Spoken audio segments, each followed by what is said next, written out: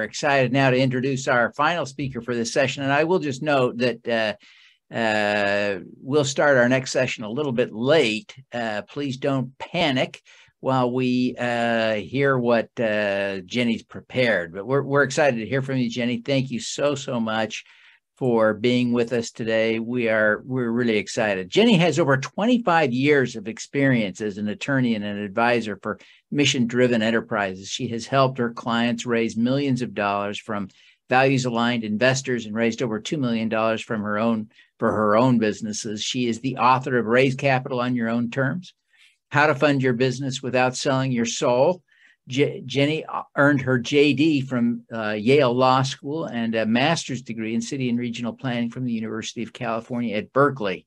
Uh, Jenny, take it away. Thank you. I'm super excited to be here talking about this. I just want to quickly share my background in this uh, in this work. So uh, back in 2006, I became a securities lawyer, um, mostly because I was really passionate about helping small businesses. So I ended up doing some research and I found out that it is abs- it was absolutely possible to do crowdfunding back then. In fact, one of the most famous crowdfunding campaigns that ever happened was in 1984. Ben and Jerry's, when they first started out, did crowdfunding to raise money for their first uh, factory. But uh, the difference between then and now is back then you had to do state by state compliance. And so I helped many of my clients in many different states go through that process, and it could be incredibly onerous. You had to go back and forth with the regulators and get their approval. And of course, if you, I had one client that wanted to raise in 16 states, so that was super onerous. We had to get approval from all 16. So um, this was very frustrating. So in 2009, I co-founded a nonprofit. As, as, aside from my law firm practice, I co-founded a nonprofit called Sustainable Economies Law Center.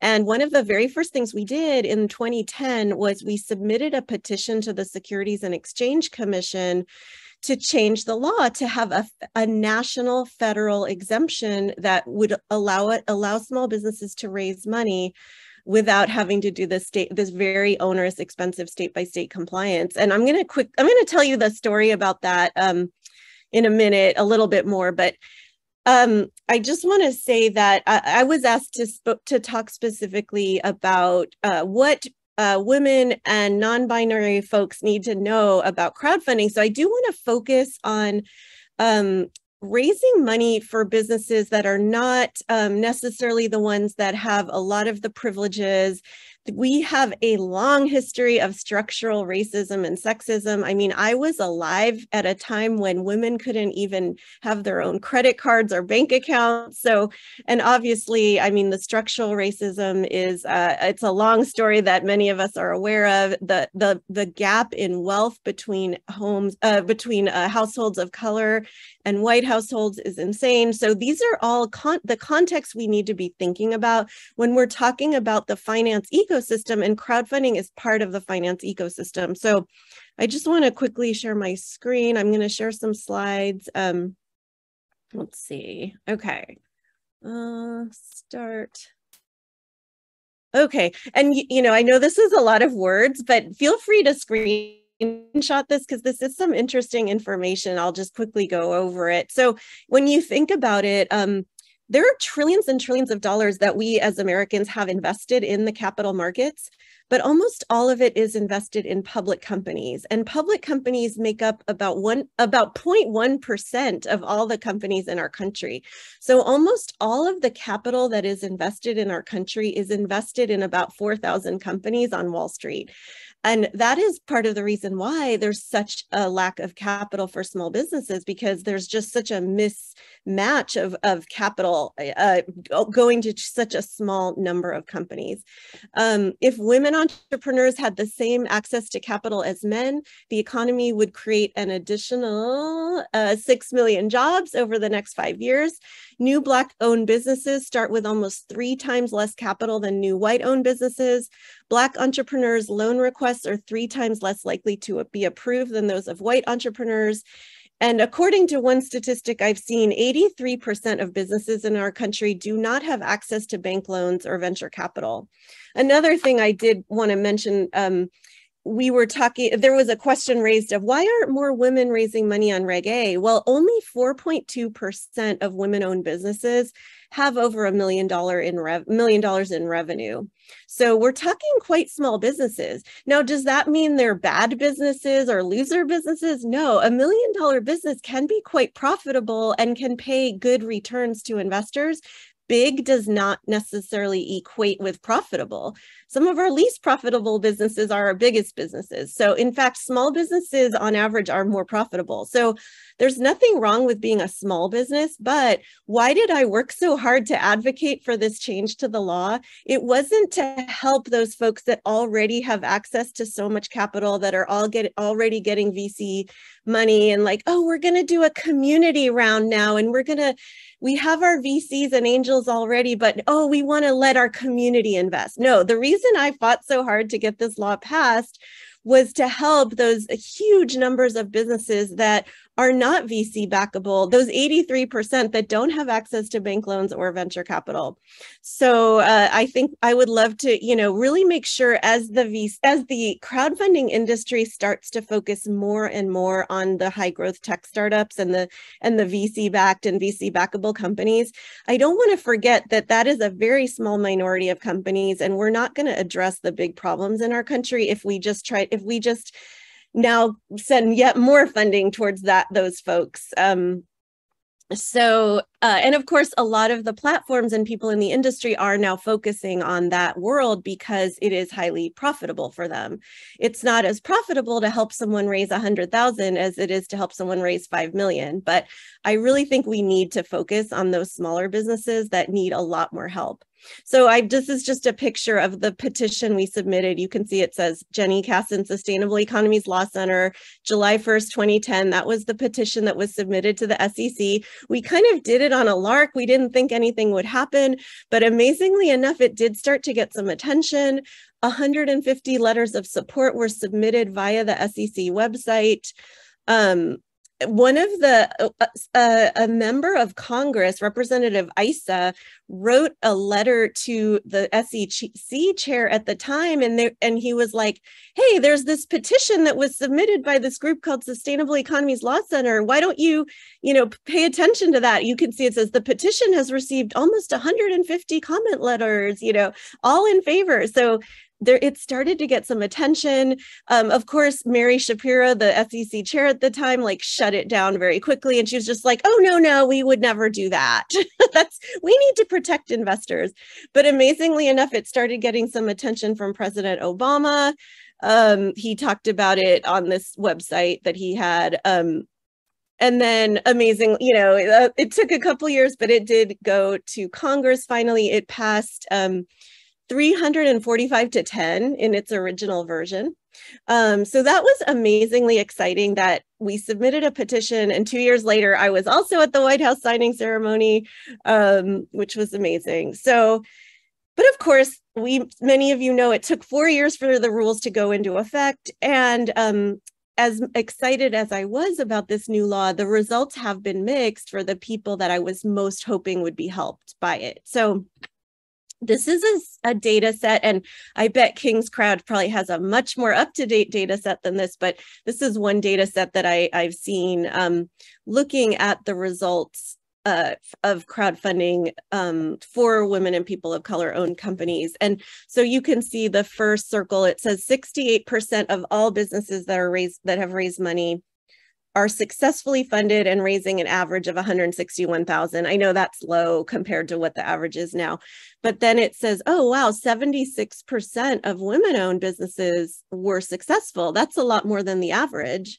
And then minority owned 73%. Wow. So they're doing better in terms of success rates than the average. That's amazing because compared to the venture capital uh, ecosystem, where they're getting like you know, two, 3% of the funding, they're actually having a higher success rate. However, if you dive a little deeper into the numbers, you'll see that the average they're raising is only about a third of what the average uh, of all campaigns are raising. So there's still some challenges. And I'll be honest with you, I actually co founded a crowdfunding platform that is focused on mission driven small businesses, women and minority owned uh, Main Street style businesses, and we have seen quite a few of them not be successful. Um, so we have been really trying to figure out what is it going to take for these businesses to successfully raise money using investment crowdfunding. And we've come up with some ideas of things that we think would be incredibly helpful if we really want to take seriously the idea that that regulation crowdfunding is a way to support these kinds of businesses who really need this capital. I mean, they are struggling. There's a crisis of lack of capital among these businesses. And as long as they don't have access to capital, it's hurting our communities because our small businesses in our cities and neighborhoods are hurting. It's it, it prevents job creation it's it put you know it puts families at risk when, when entrepreneurs try to create these businesses and they just can't make it because of lack of capital. So if we really want to see a major change in the tax base the number of jobs the number of economic vitality that we have in our communities we have to take this seriously so, some of the things that we think would really help is having a physical gathering space where entrepreneurs can meet investors. And of course, this might not be so appropriate if your if your business is more of like a national platform, but if you have like a bridal shop or a restaurant, having a place where you can come and show what you sell and give people samples and just get to know them it we really think that will result in more money moving um, you know trust me moves at this what is it? Uh change moves at the speed of trust i think is the is the uh, quote. You need to build trust for someone to be able to invest. As someone mentioned before there's high bounce rates when people go to invest go to a crowdfunding platform. They often very quickly bounce off without actually investing because you have to enter your social security number. There it's a it's a process. So you have to really trust that this is like a legit thing um, we need community financial education and organizing so that regular folks can learn what it means to make an investment in their own community. You know if let's say i have the average household has about i think about 350000 in um in investments. Um what if i took 3% of that and invested in my in a small business in my local community or a few uh, via crowdfunding what do i need to know to have the confidence to do that and do that well? So we need some education and also just to help people even understand that it's an option because still very few people are participating in crowdfunding. We need a lot of support for the entrepreneurs. For anyone who listened to Sara Hanks earlier you know that it is a pretty darn complicated law um, and the regs are very complicated very challenging to comply with. Unfortunately a lot of the platforms aren't doing a great job of making sure the entrepreneurs are in compliance so we need to be supporting these entrepreneurs to get their GAAP financials and to you know be remember to file their annual reports and all of that.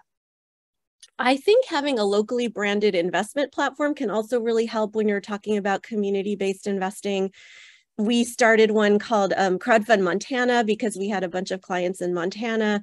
Uh, we're looking at other communities, but it's really fun if you live in a particular place that you love to be able to go to a branded platform for that place. Uh, and then we think there's so much room for support from philanthropy and from impact investors, providing matching investments, guarantees. Um, the last I checked, philanthropists uh, have a big chunk of money that they don't have to make a financial return on at all. And so they can uh, provide guarantee funds that, you know, if things don't work out, they could use that money to pay back the community investors. And yes, the, the philanthropist would lose all that money, but that's okay because they actually are supposed to, you know, do 5%, at least 5% of their uh, of their endowment towards those kinds of things. So these are the things that we think would be really helpful. Um, we're, we are starting up, sorry, we're starting a pilot in Baltimore um, in partnership with an organization called Maryland Neighborhood Exchange. I think the founder of that, Stephanie Geller, is speaking at this conference. She's done an amazing job of organizing the community in Baltimore to invest in small local businesses that are doing crowdfunding campaigns. We also bought this building to be a physical location in Baltimore where we can host events and help the community get to know um, local entrepreneurs that are raising money using crowdfunding.